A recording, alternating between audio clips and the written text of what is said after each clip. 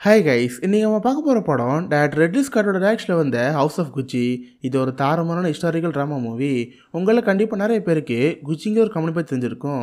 Fashion உலகத்தில் டாப்பாக இருக்க ஒரு கம்பெனி இப்போ அதோட மதிப்பு பதினெட்டு பில்லியன் அதாவது அவதார் டூ பட கலெக்ஷன் ஒன்று இருக்கும்ல அந்த கலெக்ஷனோட ஒம்பது மடங்கு அதிகம். இவ்வளோ பெரிய கம்பெனியை ஒரு குடும்பம் தான் ஸ்டார்ட் பண்ணுது. பட் அந்த குடும்பத்துக்குள்ளே ஒரு பொண்ணு நுழையிறா. அந்த பொண்ணுனால இந்த குடும்பத்துக்கு வந்து பிரச்சனை என்ன? இப்போ அந்த குடும்பத்துக்கு ஒருத்தர் கூட இந்த குச்சிங்கிற கம்பெனிக்கு உணராகவே இல்லை. அப்படி அந்த பொண்ணு என்ன என்னதான் பண்ணாங்கிறத நம்ம இந்த படத்தை பார்த்து தெரிஞ்சுக்க போகிறோம் ஆனால் இந்த படத்தோட டேரக்டர் ரெட்லி ஸ்காட் ஆல்ரெடியாக ஒரு டேரக்டர் பண்ண கிளாடியேட்டர் பிளேட் ரன்னு சொல்லிட்டு நிறைய படம் நம்ம சேனல் பண்ணியிருக்கோம். சார் டைம் இருந்தால் நீங்கள் அதையும் பாருங்கள் சரி இப்போ வாங்க ஹவுஸ் ஆஃப் குச்சிங்கிற இந்த கதைக்குள்ளே போகலாம் படம் ஆரம்பிக்கிற காலகட்டம் ஆயிரத்தி தொள்ளாயிரத்தி எழுபத்தெட்டு படத்தோட ஸ்டார்டிங்கில் பெட்ரிஷாக ஒரு பொண்ணு அமைக்கிறாங்க. இவ தான் இந்த படத்துக்கு முக்கியமான கேரக்டர் இவளோட அப்பா அந்த ஊரில் சின்னதாக ஒரு டிரான்ஸ்போர்ட் கம்பெனி வச்சிருப்பாரு. கிட்டத்தட்ட ஒரு பத்து ட்ரக்கை வச்சு அந்த கம்பெனி ரன் பண்ணிட்டு இருப்பாங்க. பெட்ரிஷியா வழக்கமாக அங்கே வேலைக்கு போகிறப்ப இவளோட ஃப்ரெண்ட் ஒருத்த கால் பண்ணுறான் ஏ பெட்ரிஷியா நைட் இன்னைக்கு ஒரு பார்ட்டி இருக்குது மறக்காம வந்துன்னு சொல்கிறப்ப இவடு செல் ஃபோன் வச்சிட்றா. தென் அன்னைக்கு நைட்டு அந்த பார்ட்டி கிளம்பி போகிறா அங்கே நல்லா ஜாலியாக செலிப்ரேட் பண்ணிட்டு இருக்கா. இவ்வளோ ட்ரிங்க்ஸ் தேவைப்படுது. அங்கே ஒரு ஆளை பார்த்து ஹே பார்டெண்டர் எனக்கு சரக்குன்னு சொல்கிறப்ப மேடம் நான் ஒன்றும் பார்டெண்டர் கிடையாது. நானும் இந்த பார்ட்டி தான் வந்திருக்கேன்னு சொல்கிறப்ப ஓ அப்படியா? உங்கள் நேம் என்ன கேட்குறப்ப அவனும் அவன் பேர் சொல்கிறான் இவனோட பேர் மருஜிய குச்சி.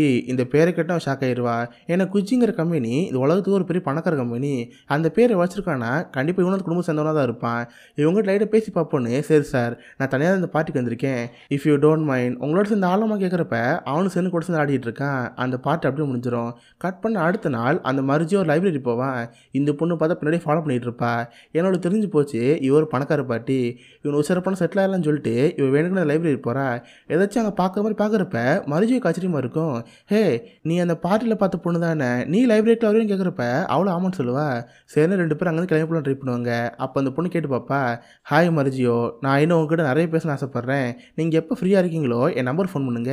என் நம்பர் நோட் பண்ணுங்கன்னு சொல்லிட்டு அவன் வண்டிக்கிட்ட விண்ஷீல்டு இருக்கும். அதில் நம்பர் எழுதிட்டு போயிடுவா மருஜியோ சேர்ந்து வீட்டுக்கு போயிடுவான் கட் பண்ண அடுத்த நாள் பெட்ரிஷாக்கு ஃபோன் வரும். பார்த்த மருஜியோ தான் ஃபோன் பண்ணுவான். இந்த போட் ஹவுஸ்க்கு வாங்கன்னு சொல்கிறப்ப அவளுக்கு சாமா போய் போச்சு. பரவாயில்ல பயணம் பிளானில் விழுந்துட்டேன் இதுக்கடுத்து நான் உஷார் பண்ணிடுவேன் தான் சொல்லிட்டு இவ்வளோ இந்த போட் ஹவுஸ் போவா?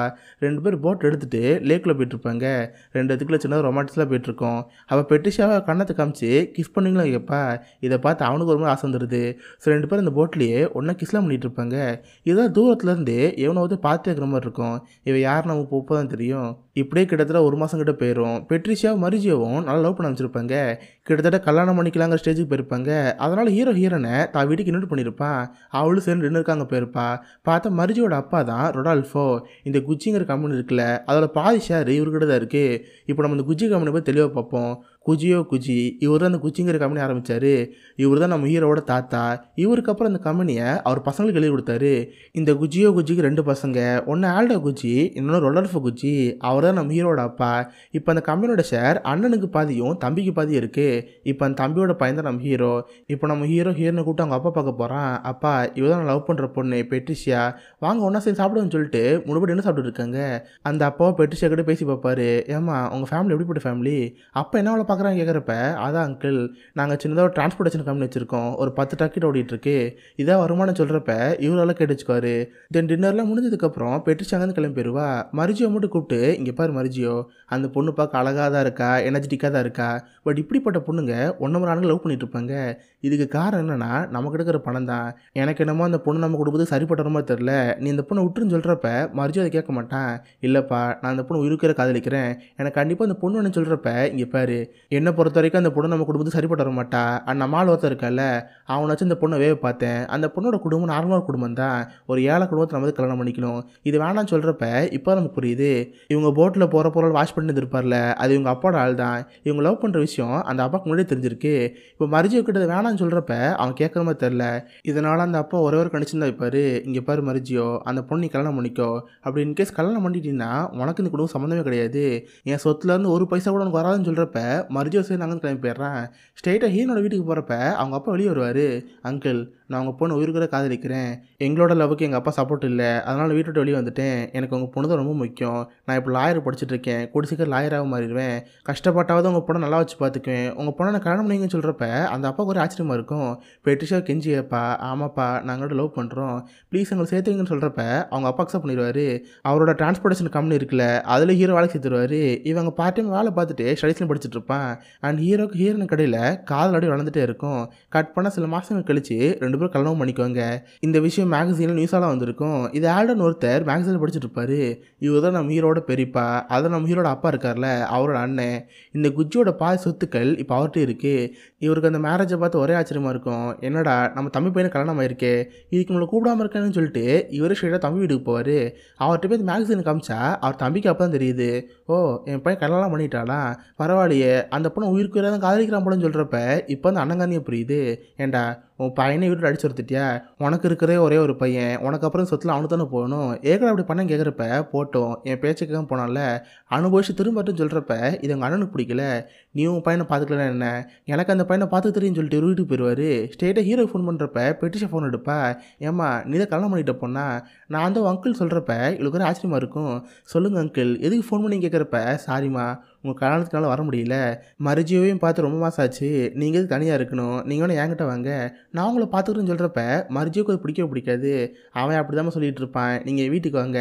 அது போக அடுத்த வாரம் எனக்கு பர்த்டே பார்ட்டி இருக்குது மறக்காமல் நீங்கள் வரணும்னு சொல்கிறப்ப இவ்வளோ சின்ன ஃபோன் வச்சிட்றா. நான் மரிஜியோக்கு இதெல்லாம் பிடிக்கவே பிடிக்காது. அவனுக்கு சொந்த காலில் இருக்குன்னு ஆசையாக இருக்கும். பட் நம்ம மீன் கெஞ்சி கேட்டு எங்கள் இது உங்கள் பெரியப்பா தானே? வாங்க போய் பார்ப்போன்னு சொல்லிட்டு இவங்க இது பர்த்டே பிடி போவாங்க. அங்கே போனால் எல்லாரும் ஜாலியாக ரக்பியில் விளாண்டுட்டு இருப்பாங்க. நம்ம ஹீரோ விளாண்டு ரொம்ப நாள் ஆச்சு. நானும் வாரேன்னு இவனும் ஜாலியாக விளாண்டுட்டு இருக்கான் பார்த்தா அந்த ஆல்டோ குஜி இருக்கார்ல அவருக்கு ஒரு பையன் இருக்கான் அவனோட பேர் பவுலோ குஜி இவர் யாருன்னு தெரியுதா? சூசைட் ஸ்குவாட் படத்தில் ஜோக்கராக வருவார்ல அவர் தான் இது. ஆல்டோக்கு அவர் பையனை பிடிக்க பிடிக்காது. சொல்லப்போனால் அவர் கேவலமாக பார்த்துருப்பாரு. இவர் பைத்தியக்கார பையன் முட்டா பையன். எதுக்கு யூஸ் இல்லாத உதவாக்காரன்னு சொல்லிட்டு தான் அவர் பையனே பார்த்துருப்பாரு. இது பவுலோக்கு லைட்டாக வருத்தமாக இருக்கும். சொல்லப்போனால் அவன் டிசைனிங்லாம் பிடிச்சிருப்பான் இந்த குஜிங்கிற கம்பெனி நம்ம டிசைன் பண்ணணும்னு சொல்லிட்டு அதை மாடலிங்லாம் பண்ணி காட்டுவான். பட் அவங்க அப்பா அந்த பையனை கடிக்க மாட்டார். இந்த விஷயம் அந்த பவுலோங்கிற பையனுக்கு ரொம்ப கடுப்பாக இருக்கும். இவன் நம்ம ஹீரோ கண்ணை வேணும். இப்போ அந்த பர்த்டே பார்ட்டியெல்லாம் முடிஞ்சதுக்கப்புறம் அந்த அங்கிள் ஒரு கிஃப்ட் தருவார். டே உனக்கு ஒரு ஹவுஸ் ரெடி பண்ணி வச்சுருக்கேன். நீங்கள் அங்கேயே தங்கிக்கோங்க. எந்த ஒரு ஹெல்ப் பண்ணாலும் இதுக்கு அடுத்து பெரிய படம் கேளுங்கன்னு சொல்கிறப்ப மரிஜியோ சேர்ந்து அங்கே கிளம்பி போயிடுறான். இப்படியே உங்கள் லைஃபு நல்லா ஹாப்பியாக தான் போயிட்டுருக்கு. நம்ம மரிஜியும் பெட்டிஷோ இருக்கிற காதலிக்கிறேங்க ஆக்சுவலாக எதுக்கு பெட்டிஷோ அந்த பர்த்டே பார்ட்டிக்கு வந்திருப்பானா இவ எதுக்கு நம்ம ஹீரோ கல்யாணம் பண்ணிக்கிட்டா? அந்த குச்சிங்கிற கம்பெனி இவ்வளோ சொந்தமாக்கணுங்கிறது தானே? ஆனால் ஹீரோட அப்பா உங்களை வீட்டோட திறந்துட்டாரு திரும்ப அந்த குடும்பத்தோட சேருங்கிறக்காதான் இவன் இந்த மாதிரி ஃபேக்காக நடிச்சிட்டு இருக்கா. இவன் நடிச்ச மாதிரி பிளானுக்கு வந்து போயிட்டுருக்கு. கட் பண்ண இந்த பக்கம் அந்த பவுலோ நம்ம ஹீரோட அப்பா இருக்கார்ல அவரை பார்க்க போவான். சித்தப்பா நான் இந்த குச்சிங்கிற கம்பெனிக்காக சில டிசைன்லாம் பண்ணியிருக்கேன் பாருங்கன்னு சொல்லிட்டு அவன் டிசைன்லாம் காமிச்சிட்டு இருப்பான். பார்த்தா சித்தப்பாக்கும் பேப்லோ அளவுக்கு பிடிக்க பிடிக்காது. டே பேப்லோ உன்னை பார்த்து டிசைனர் மாதிரிடா இருக்குது நீ தான் இந்த கம்பெனி சொந்தக்காரனாக போகிற நீ எதுக்கு இல்லை கஷ்டப்பட்டுட்டு இருக்க? இந்த டிசைன் விட்டு வேறு ஏதாவது வேலை பாருன்னு சொல்கிறப்ப பவுலோ கோவந்த வருது. அழுகலான்னு சொல்லிட்டு கர்ச்சிஃப் எடுத்தா அது கூட கம்பெனி கர்ச்சிஃப் தான். அதை பார்த்து உனக்கு கோவந்த வருது. அந்த கர்ச்சிஃப் மேலே இவரு நடிச்சிட்றான். போக போக உனக்கு அந்த குஜிங்கர் கம்பெனி மேலே சின்னதாக வெறுப்பு வந்துட்டு தான் இருக்குது கட் பண்ண ஒரு வருஷம் கழிச்சு நம்ம ஹீரோ ஹீரோனுக்கு குழந்தை பிறக்கும். பார்த்தா ஒரு பெண் குழந்தை. அதுக்கு அலெக்சாண்டர்னு பேர் வச்சிருப்பாங்க. இந்த விஷயம் நம்ம ஹீரோட அப்பாவுக்கு தெரிய வந்திருக்கும். அண்ட் ஆயிரத்தில் ஒரு உடம்பு சொல்லாமல் போயிருக்கும். கடைசி காலத்தில் பையன் நம்ம கூட இருக்கட்டும்னு சொல்லிட்டு இவரே தப்பா எனக்கு வீட்டுக்கு கூடுவார் பார்த்தா நம்ம ஹீரோ குழந்தை வீட்டுக்கு வருவான். அந்த குழந்தைய பார்த்தா உங்கள் அப்பாவுக்கு ஒரு மாதிரி இருக்கும். சாரிடா மெர்ஜியோ நான் தப்பாக புரிஞ்சுக்கிட்டேன்.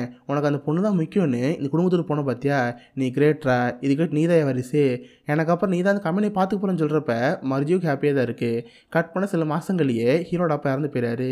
இது நினச்சி மர்ஜி ரொம்ப கஷ்டப்படுறான். இந்த குச்சிங்கிற கம்பெனியோட பாதி ஷேர் உங்கள் அப்பாட்ட இருந்துச்சு. இப்போ அவங்க அப்பா இறந்தனால அந்த பாதி ஷேர் நம்ம ஹீரோக்கு வரப்போகுது. அவன் தான் ஃபிஃப்டி பர்சன்டேஜ் ஷேருக்கு அதிபதினு பார்த்தா அங்கே சின்னதாக ஒரு பிரச்சனை இருக்குது ஷேர் சர்டிஃபிகேட்டில் அவங்க சின்னதாக ஒரு கையெழுத்து போட்டிருக்கணும். ஒரு கடைசி காலத்தில் அவங்க அப்பா அந்த கையெழுத்து போட மறந்துருப்பாரு. இதை பார்த்து ஹீரோனுக்கு வந்துடும் என்னது கையெழுத்து போடலையா? கையெழுத்து போடலைன்னா அவர் இவரோட வாரிசு இல்லைன்னு ஆயிருமா? இவரும் அந்த வாரிசு. நம்மளே சைன் பண்ணுன்னு சொல்லிட்டு சைனை ஃபோர்ஜரி பண்ணுவாங்க இப்போ அந்த கம்பெனியோட ஐம்பது பர்சன்டேஜ் ஷேர் இவங்கள்ட்ட வந்துருச்சு. ஸோ நம்ம பெட்ரிஷன் நினச்ச மாதிரி இந்த குச்சிங்கிற கம்பெனியோட பாதி ஷேருக்கு இப்போ ஓனர் ஆகிட்டா பட் இவ பிளான் பாதி ஷேர் கிடையாது. முழு ஷேருமே நம்மக்கிட்ட தான் இருக்கணும். நாம தான் ஒன்லி ஒன் ஓனராக இருக்கணும்னு சொல்லிட்டு பெட்ரிஷாவுக்கு ஒரு ஆசை இருக்கும். கட் பண்ண இப்போ நம்ம ஹீரோ தான் இந்த குச்சி கம்பெனியோட ஓனராக வந்து பார்த்துக்கிறேன் நம்ம ஹீரோட பெருப்பா இருக்கிற ஆல்டோ அவர் தான் மற்ற நாடுகளில் அந்த பொருட்களை விற்கிறது எப்படி ப்ரொமோட் பண்ணுறதுன்னு அந்த மாதிரி வேலை பார்த்துருப்பாரு ஸோ இப்போ அந்த குச்சிங்கிற கம்பெனி நல்லா தான் போயிட்டுருக்கோம் கட் பண்ண ஒரு நாள் பெட்ரிஷியா ரோட நடந்து போயிட்டுருப்பா அப்போ பார்த்து ரோட்டில் பொருட்கள் வைப்பாங்களே அந்த மாதிரி ஒரு பொருள் வித்துட்டு குச்சி கம்பெனியோட பேக் வேணுமா? வெறும் முப்பது ரூபா தான் சொல்லிட்டு கூவி கூவி வித்துட்ருப்பாங்க இதை பார்த்து இவளுக்கு இருக்கும்.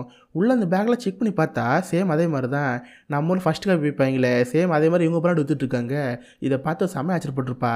அந்த பேக்கில் எடுத்துட்டு போய் ஹீரோ கிட்ட காமிச்சு இங்கே பாரு மெரிஜியோ இதெல்லாம் நம்ம கம்பெனியோட ப்ராடக்ட்டு இது ரோட்டில் இருபது முப்பது வித்துட்ருக்காங்க நம்ம கம்பெனிக்கு ஒரு பிராண்ட் இருக்குது இது எப்படி வெளியே போயிருக்கும்? கண்டிப்பாக பெரியப்பா தான் காரணமாக இருப்பான்னு சொல்லிட்டு ஆல்டோ பார்க்க போகிறாங்க பெரியப்பா நீங்கள் என்ன பண்ணியிருக்கீங்க மேனுஃபேக்சர் நீங்கள் தானே பார்க்குறீங்க ஒரு பொருள் டேமேஜ் ஆச்சுன்னா அதுக்கு குப்பை தானே போடணும்?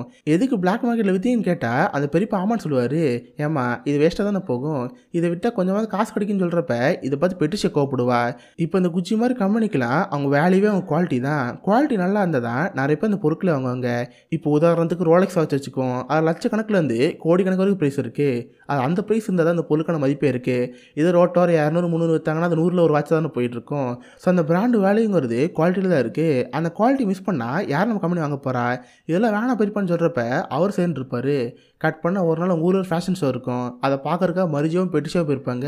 நல்லா ஜாலியாக அதை பார்த்துட்டு இருக்கிறப்ப நம்ம ஹீரோ பக்கத்தில் டாம்னு ஒரு பையன் இருப்பான். இவன் ஒரு ஃபேஷன் டிசைனர் இவன் அதை பார்த்து இருந்துட்டு நம்ம ஹீரோட ஜாலியாக பேசிட்டு இருப்பான்.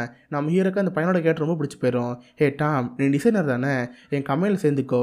நான் தான் குஜி கம்பெனியோட ஓனர்னு சொல்கிறப்ப அதை போய் சிரிச்சிட்ருக்கேன் எனது குஜி கம்பெனியோட ஓனரா அது ஒரு சீப்பான கம்பெனி. அங்கே போய் டிசைன்லாம் பண்ணுவானா? நான் வேலைக்கு வர மாட்டேன்னு அந்த போய் கேவலமாக பேசுவான்.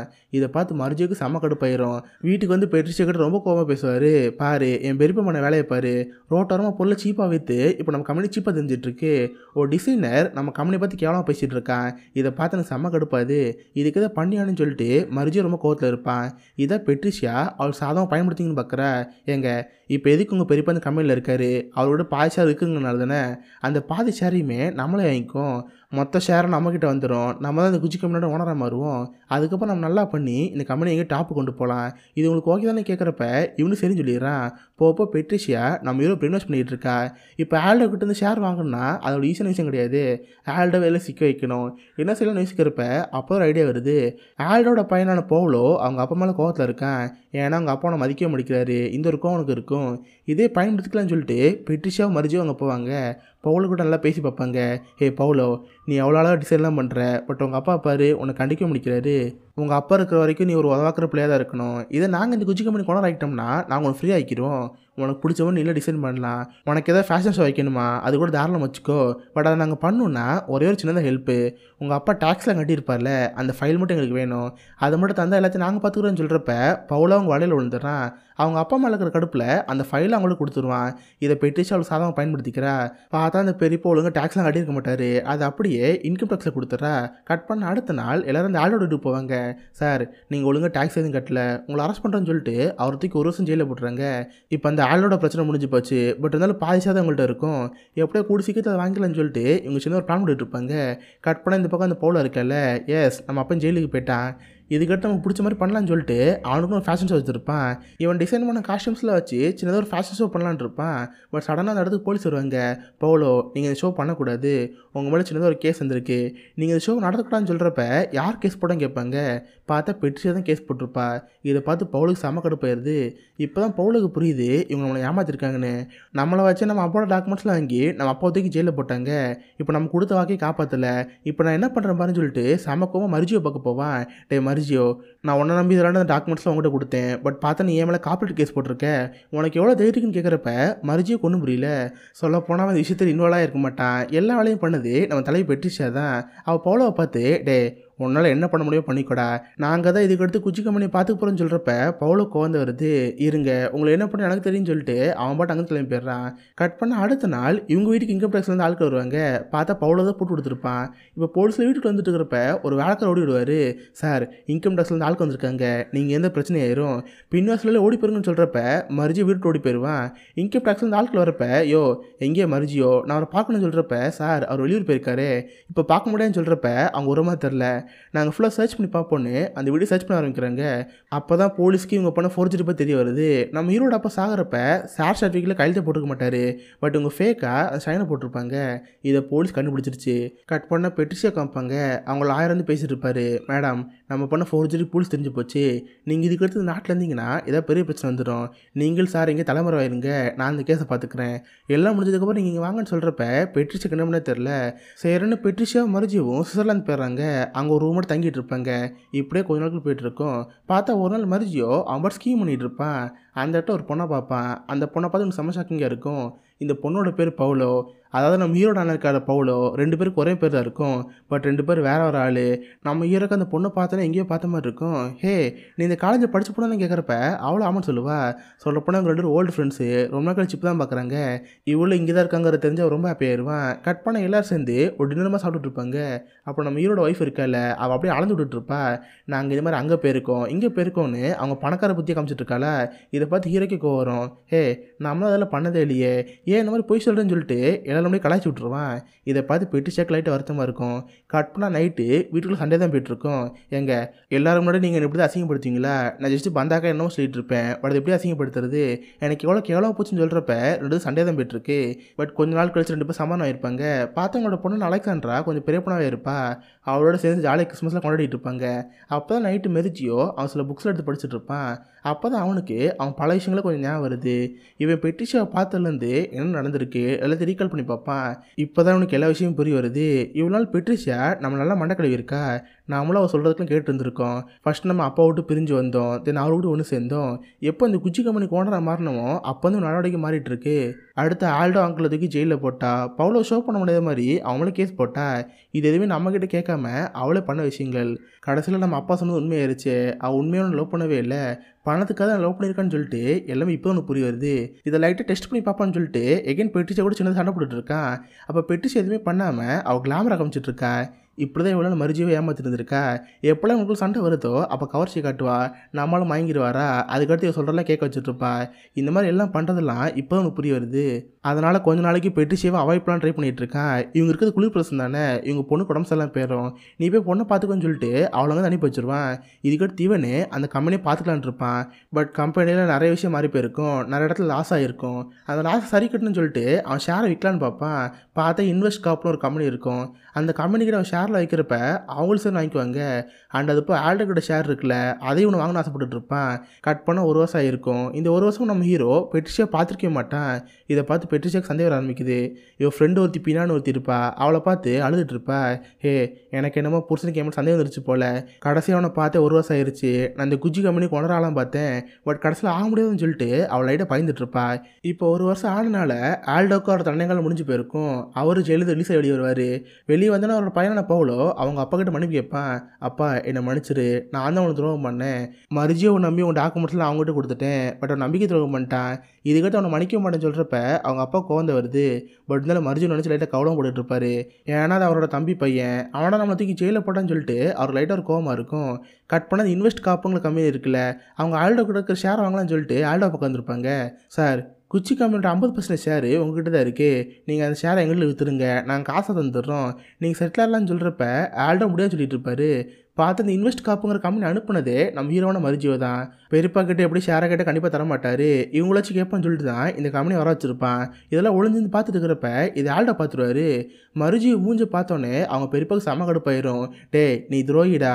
போயும் போய் கேவலம் சொத்துக்காதோட நான் தூக்கி ஜெயிலில் போட்டேன் எனக்கு இதுக்கிட்ட சொத்தை தேவலன்னு சொல்லிட்டு அதில் சைன் போட்டுருவாரு. இப்போ அந்த குச்சி கம்பெனியோட மொத்த ஷேருமே நம்ம ஹீரோவான மருஜியோ கிட்ட போயிருச்சு.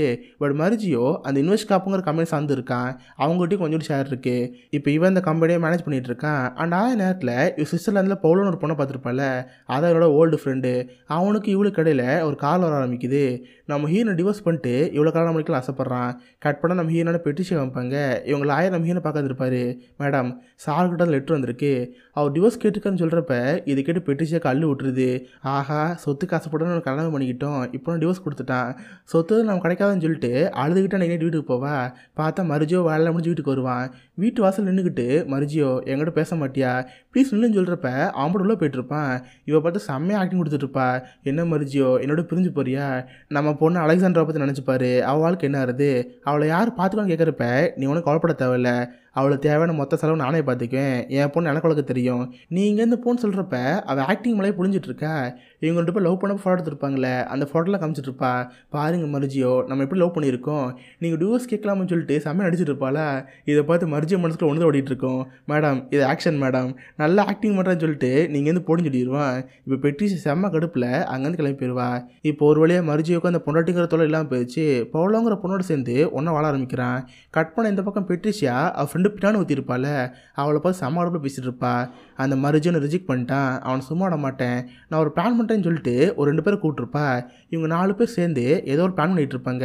கட் பண்ணால் ஆயிரத்தி தொள்ளாயிரத்தி தொண்ணூத்தஞ்சு அந்த குச்சிங்கிற கம்பெனி ஒரு ஃபேமஸான கம்பெனியாக தான் இருக்கும். பட் நம்ம ஹீரோவான மருஜியோக்கு அதை மேனேஜ் பண்ண தெரியாது. அந்த கம்பெனி இன்வெஸ்ட் காப்புங்க ஒரு கம்பெனி வாங்கியிருக்கும்ல அவங்க எல்லாம் சேர்ந்து ஒரு மீட்டிங் பண்ணிட்டு இருப்பாங்க. இங்கே பாரு மருஜியோ நீங்கள் இந்த கம்பெனிக்கு லைக் பண்ண மாட்டீங்க. அதனால் உங்களை இந்த கம்பெனி ஃபயர் பண்ணுறோம் நீங்கள் இந்த கம்பெனி விட்டு போங்கன்னு சொல்கிறப்ப மருஜியோக்கு என்ன பண்ண தெரில அவன் தாத்தா உருவாக்கின சொந்த கம்பெனிலேயே இப்போ அவனுக்கு வேலைலாம் போயிடுச்சு ரொம்ப சோகத்தை சைக்கிள் எடுத்துகிட்டு அவன் வீட்டுக்கு போயிட்டுருப்பான். அப்படி போகிற வழியில் பார்த்தா ஒருத்தர் துப்பாக்கியோட வந்துட்டுருப்பாரு. மருஜியை பட்டு பட்டுன்னு அங்கேயே போட்டு தள்ளிடுவார் மார்ச் இருபத்தேழு ஆயிரத்தி தொள்ளாயிரத்தி தொண்ணூத்தஞ்சில் மருஜி இறந்து போயிடுவான் மருஜியை கொள்றது கால் செட் பண்ணது யாருன்னா நம்ம ஹீரோனு பெட்ரிஷா தான். தனக்கு கிடைக்காத புருஷன் வேறு யார் கிடைக்கூடாங்கிறதுக்காக கொண்டுட்டா பட் இந்த விஷயம் போலீஸாருக்கு தெரியாமல் இருக்கும் செம்மையாக ஆக்டிங் கொடுக்குற மாதிரி அந்த ஃபியூனரில் போய் கலந்துக்குவா. கட் பண்ணால் ரெண்டு வருஷம் கழிச்சு. இந்த ரெண்டு வருஷம் விசாரணையில் அவள் தான் குழப்பினாங்கிற விஷயம் தெரிய வந்திருக்கும். அதனால் கோர்ட்டில் நம்ம ஹீரோ கூடுவாங்க. நம்ம ஹீரோட உண்மையான பேர் பெட்ரிஷியா ரெஜானி அதை சொல்லி கோர்ட்டில் கூப்பிட்றப்ப இவ காதலே கேட்காத மாதிரி உட்காந்துட்டு இருப்பா. ஒரு மூணு நாள் வாட்டி கூப்பிட்டதுக்கப்புறம் என்னோட பேர் பெட்ரிஷா ரஜனி கிடையாது. பெட்ரிஷியா குஜின்னு சொல்லுவா. அது இப்போ வரைக்கும் தான் அந்த குஜி ஃபேமிலியில் ஒருத்தையும் நம்பிட்டு இருக்கா. இப்போ கோர்ட்டோட விசாரணையில் இவ தான் புசனை கொண்டிருக்கான்னு தெரிய வந்திருக்கும். அதனால் பெட்ரிஷாக்கு இருபத்தொம்பது வருஷம் ஜெயில் தண்டனை கொடுத்துருப்பாங்க. அண்ட் அது போய் இவ கூட கொலை ஹெல்ப் பண்ணியிருப்பாங்களா அந்த பின்னாங்கிற பொண்ணு? கூட ரெண்டு அலக்கை இங்கே இருந்திருப்பாங்களே அவங்களுக்குலாம் இருபத்தஞ்சி வருஷம் இருபத்தாறு வருஷம் சொல்லிட்டு ஜெயில் தண்டனை கொடுக்கப்பட்டிருக்கும். நம்ம ஹீரோட பெரியப்பா இருக்கார்ல ஆல்டோ குச்சி அவர் ஆயிரத்தி தொள்ளாயிரத்தி தொண்ணூறில் கேன்சர்லேருந்து இறந்து போயிருப்பார். அவரோட பையன் பவுலோ குச்சி ஆயிரத்தி தொள்ளாயிரத்தி தொண்ணூத்தஞ்சில் வறுமையில் இறந்து போயிருப்பான். ஏன்னா அவங்க அப்பா தான் ஹீரோ மலைக்கிற இருக்கிற விருப்பில் சொத்தெல்லாம் அவங்ககிட்ட கொடுத்துட்டார்ல. அதனால் கடைசி காலத்தில் வறுமையில் அந்த பவுலோ குச்சி இறந்து போயிட்டான். இப்போ அந்த குச்சிங்கிற கம்பெனிக்கு யார் ஓனரெல்லாம் வந்திருப்பாங்க அந்த கம்பெனி இன்வெஸ்ட் காப்புங்கிற ஒரு கம்பெனி வாங்கியிருக்கும்ல அதில் இருக்கிற ஷேர் ஹோல்டர்ஸ் தான் இப்போ வரைக்கும் அந்த குச்சிங்கிற கம்பெனி பார்த்துட்டு இருக்காங்க. இப்போ அதோட மதிப்பு பதினெட்டு பில்லியன். இந்திய மதிப்பில் நூற்றம்பது லட்சம் கோடி. பட் இவ்வளோ பெரிய கம்பெனி உருவாக்கின குச்சி ஃபேமில் ஒருத்தர் கூட இப்போ அந்த கம்பெனிக்கு ஓனராக இல்லை. இதுக்கெல்லாம் காரணம் ஒரே ஒரு பொண்ணு. ஸோ கண்டிப்பாக உங்க எல்லாருக்குமே இந்த படம் பிடிச்சிருக்குன்னு நினைக்கிறேன். அப்படி பிடிச்சிருந்தா இந்த வீடியோக்கு லைக் பண்ணுங்கள் இந்த மாதிரி வித்தியாசமான மூவிஸ் பார்த்து தெரிஞ்சுக்க மிஸ்டர் ஹாலிவுட் சேனல் சப்ஸ்கிரைப் பண்ணி வச்சுக்கோங்க. உங்களை அடுத்த நாள் ஒரு ஆசமான வீடியோ மீட் பண்ணுறேன் அது வரைக்கும் பை கைஸ்